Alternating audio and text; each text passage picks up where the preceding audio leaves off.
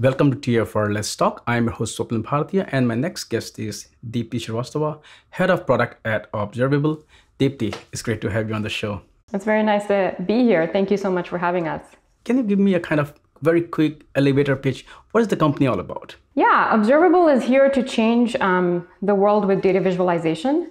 Uh, we provide an expressive and rich platform where folks can create, um, you know, interactive dashboards, graphs, charts, um, and we want to use that to help more and more people who want to communicate uh, with data and gain data insights in a collaborative manner. That's what we're here to do with Observable if you look at data visualization, it's uh, it's something that seems to be of interest uh, to uh, folks like data scientists or data teams. Uh, but uh, from what I hear about observable, you're also trying to help uh, to to leverage it to improve code. I want to know from you is that what should developers know about this aspect of data visualization so they can leverage it to improve code? Developers sort of need to understand what they're building, right? What they're coding and what the impacts of that are. So the whole life cycle of writing code to deploying it to understanding what the impact of it is, right? And ultimately, with data visualization, what we're saying is that um, it taps into your neurological system that helps you understand things better, right? A picture is worth a thousand words. And so as data is growing, as um, data is getting more complex, regardless of what the type of data is, whether it's um, you know uh, HTTP status, status dashboards, whether it's code complexity, whether it's uh, sort of you know job failures and things like that. All of that is data, right? And in order to understand like what all of this data is telling you as a developer, you know, you can use a picture to visualize thousands, hundreds of thousands of data points really quickly right? So the idea around data visualization for developers is the same as the idea of like you can understand things better with lots of data points very quickly if you visualize it in some sort of graph chart, um, you know, that kind of uh, format, right? And so you can visualize um, algorithms to understand uh, what it's doing better. You can visualize, um, you know, we have a template, we'll talk about templates, but we have a template that actually um, yeah, it visualizes sort of DevOps uh, dashboards such as flaky tests, right? And, I, and, when you're in the middle of sort of uh, production emergency and you want to figure out, um, you know, what's going on, it's really easy and much faster to do um, root cause analysis when you have a dashboard that tells you what's going on, right, with your production data. Um, just to give you another example, sort of if you want to visualize sort of code dependencies and hotspots, you can do that. You know, we, we build flowcharts, right? Flowcharts is data viz. So I think data viz is all around us. It's just that a lot of us don't think of it that way. But ultimately, taking multiple data points and putting it into a picture so you can make sense of it really quickly, that's what we're here to do with Observable. You mentioned, you know, to visualize it, visualize it. So what is observable uh, observable doing to kind of uh, not only democratize it but also make it more accessible to developer and i think that's where the template come into the picture that you recently announced you know with our mission uh, we obviously want the pieces that help you explore data and visualize it and communicate it we want those pieces to be more approachable so uh, you know we talked about plot in a, in a previous setting um, plot is about making sort of the actual act of data exploration and data visualization easier and faster, right? So that more people can, with its in with its simple API, they can sort of both create a dashboard uh, or create a chart in um, you know as simple as one line of code. But then there is infinite expressivity expressivity because it's code. The next step of that, which is what I'm really excited to talk about um, with you, is templates. So templates are pre-packaged um, data visualization artifacts uh, meant for specific business related workflow each. And the idea with templates is that one, you don't need to start from scratch because as much as it's fun to sort of open an empty, you know, notebook or an empty document, sometimes you just need to get your work done. Um, and so, you know, you don't have to start from scratch. It's pre-packaged. You can do a simple thing as upload a simple CSV and voila, within minutes, you get something that would have taken you, you know, hours, days, maybe weeks to build. The other aspect of templates is that you don't need to be an expert in data visualization techniques or in JavaScript to get started, right? Because you have this prepackaged um, sort of blueprint, you can use it to visualize things like DevOps dashboards, things like you know hiring timeline, cash flow, things like you know cohort grids and you know user research surveys. All of that you know packaged up into one sort of understandable artifact that you could use with your own data to get insights and um, you know communicate that within minutes. And you hit uh, the nail there. You know, sometimes you just want to get the work done, and sometimes I look at developers just like you know artists.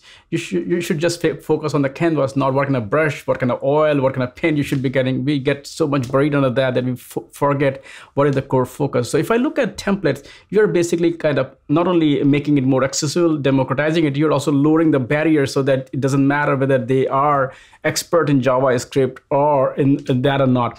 Can you also, you said, you know, there are templates for everything. Can you share some of the examples of how developers are using it? Yeah, absolutely. Um, and I want to share actually two examples just to demonstrate how you know you don't have to be a developer. So our developer templates for right now, you know, this is the first set of templates that we've just launched earlier this week, which is very exciting for us. These are interactive dashboards that uh, visualize sort of um, flaky tests. If you have a GitHub repo, right, and you're like your entire team of maybe hundreds uh, you know, tens, hundreds more developers are using these branches to run integration tests, and then you want to quickly visualize where things are breaking because you don't want that to go into production, right? So that's a dashboard that we have um, uh, for flaky tests for developers. Um, the other dashboard that we have on the you know business side is, as I talked about earlier, is this user retention dashboard. Now, everyone who has any kind of platform that has users on it, right? Whether you're a product manager, whether you're a financial analyst, uh, you know, whether you're doing consumer space, everyone wants to understand user retention, right? And especially SaaS products. And building these user retention graphs, which are you know visualized usually as cohort grids, if you've ever done it, you know that it takes like days, if not weeks, to build it correctly. And we actually have a um, cohort grid template so all you need to do is sort of take your CSV data. Most of the data is in sort of tabular format anyway. So you take your TSV or CSV data, you upload it, and within like this much time, you can visualize your data. You can get the cohort grid. You can get um, user retention graphs, and you can even do them by segments, right? And, and that's so much more powerful. That means that you know I as product manager or you, you as business analyst don't have to go to your developer to ask them to build you a cohort grid from scratch. You can just upload your data and get the visual insights.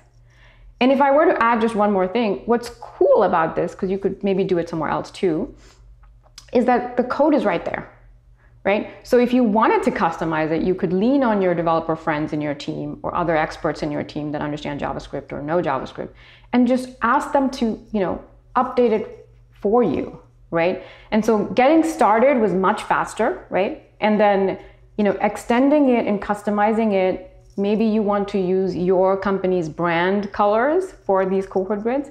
All of that is totally possible because it's right there, the code, the, the prose that explains the context as well as the graph are all there. It also seems there is a collaborative angle to it as well, where your teams can. So it sounds more like like a, a GitHub for for templates and data visualization there. So can you explain this aspect as well? Because when you do talk about you know treating it like a GitHub or any collaborative tool, you also want different people to have different access or rights or permissions. Otherwise, everybody is going there doing everything. So talk about the collaborative aspect of it. Yes, absolutely. Um, we believe collaboration is the way forward you know because as as we talked about right as data is growing there are more people in the team that need to understand data in order to make decisions right? Database dis- decision making or data driven decision making is something everybody wants to do and, and everybody talks about but it's super hard right? First you don't have the right access to the data then you don't you know you, everybody's not looking at the same data.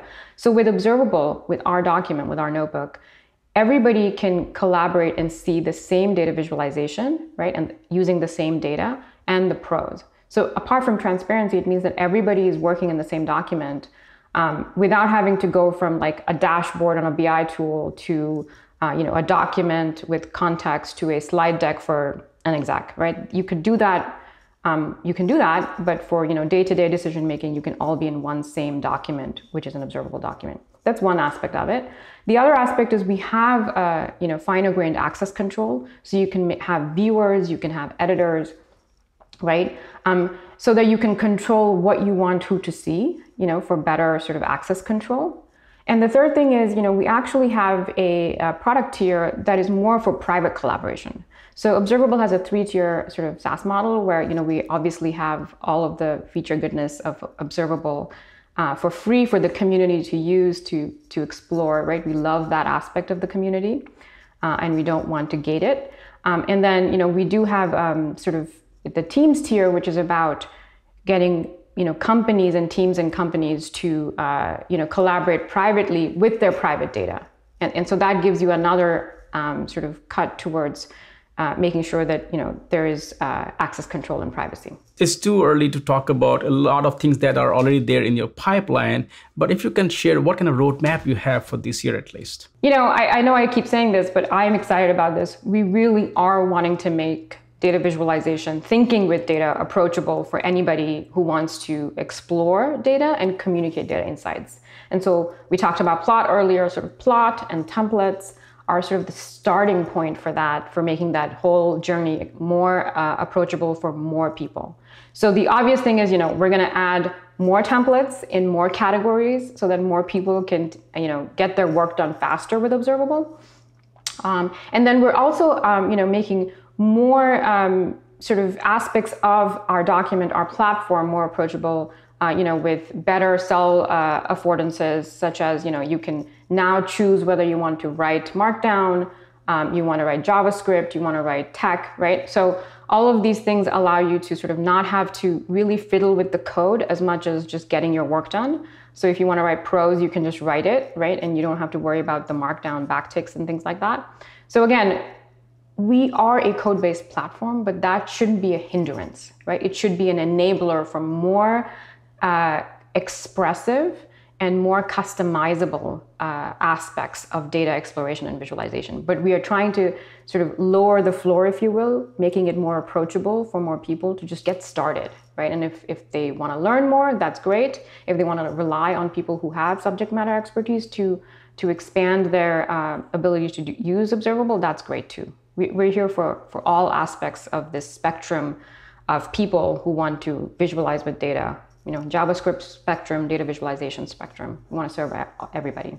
Yeah, and when I was listening to you, I also realized that realized that uh, because of this pandemic last year, a lot of companies they rushed towards digital transformation. They rushed towards cloud, and now that kind of hangover is over. Now they are settling down. down. They are looking at the day two uh, problems. What have you observed? No pun intended in, kind of in sense of how you see the the the adoption of data visualization growing as more and more companies are going cloud native or digital. You actually touched upon it. So digital transformation was accelerated over the pandemic because everybody realized they just can't rely on humans being in the same space to fill process gaps or to fill sort of those digital digital sort of transformation gaps. Um, so I think that's here to stay, here to stay, and here to sort of continue. Uh, my previous life was all about cloud and you know getting enterprises to cloud. Um, you know when I worked at Google Cloud, um, and before that at Oracle. And all I've seen over the years is that more and more and more companies are realizing how much they need to sort of both collaborate and be online. And that's what Observable is. It's online and it's a collaborative tool, and it allows you to make sense of data right? So of course, as I said right earlier, everybody wants to be data driven when it comes to decision making. It's really hard.